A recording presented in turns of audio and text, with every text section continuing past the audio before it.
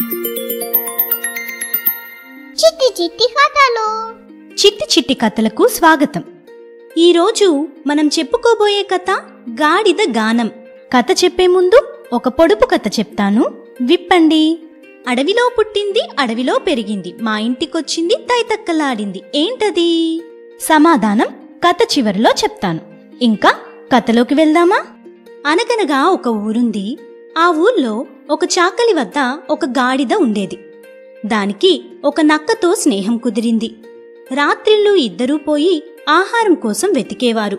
ఒకరోజు చక్కని దోసపాదులతో నిండిన తోటకు వెళ్ళి పెద్ద పెద్ద దోసకాయల్ని కడుపు నిండా తిని పౌర్ణమి కనుక చల్లని వెన్నెల చల్లని గాలి హాయిగా వీస్తూ ఉండగా గాడిద నక్కతో మిత్రమా నాకెంత సంతోషంగా ఉందో తెలుసా? నాకో తీయని పాట పాడాలని ఉంది అంది. అయ్యయ్యో అంత పని చేయకు మిత్రమా? నీ పాటకి నిద్రపోతున్న రైతులు లేచివచ్చి మనని కొట్టి తరుముతారు అంది నక్క. కాని గాడిద నక్క మాట పట్టించుకోకుండా ఏం నేను చక్కగా పాడితే భరించలేవన్నమాట. నీకు అసూయ? అంది గాడిద. సరే నీ కర్మ ముందు నన్ను పోని అంటూ వేగంగా పరుగు తీసింది నక్క.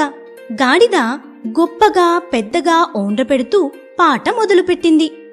నక్క చెప్పినట్టే రైతులు లేచి వచ్చి దుడ్డుకర్రతో గాడిదని చావబాదారు.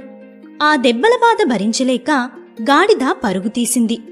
ఆ పక్కనే పొదల్లో దాక్కుని చూస్తున్న నక్కను చూసి మిత్రమా నువ్వు ముందు చూపుతో చెప్పిన మాట వినక చావు దెబ్బలు తిన్నాను అంటూ బాధపడింది. ఈ కథలోని నీతి ఏంటి? అనుభవజ్ఞులు మన మంచి కోరి చెప్పేవారి సలహా వినటం మంచిది. మీరు చాలా చక్కగా కథ విన్నారు. మరి పొడుపు కథ సమాధానం? చల్లకవ్వం. మా ఈ ఛానల్ మీకు నచ్చినట్లయితే లైక్ చేయండి షేర్ చేయండి సబ్స్క్రైబ్ చేయండి.